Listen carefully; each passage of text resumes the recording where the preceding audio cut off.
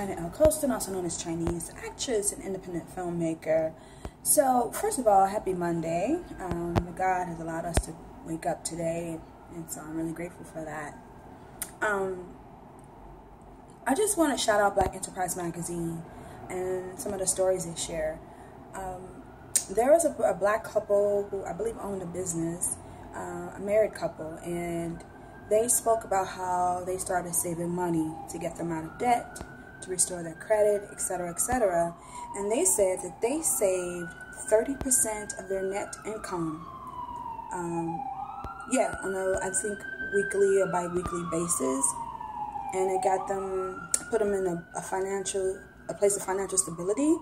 And I read their article like two years ago in the summer. I think maybe around this time, and I just kind of like follow their um, paradigm, and it actually has really helped me greatly.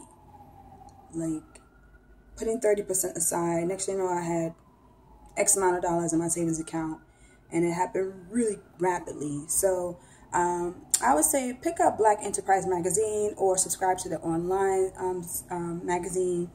They have a lot of uh, helpful uh, financial tips, articles about entrepreneurship, about financial stability, about um, being an executive at, in corporate America, or just you know owning your own business. But uh, but that particular couple and their thirty percent savings example really helped me and kept me out of a tricky place financially.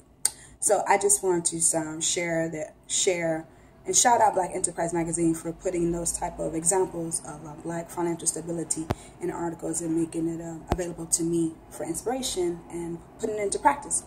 All right, y'all. Take care. Peace. Dark Seed.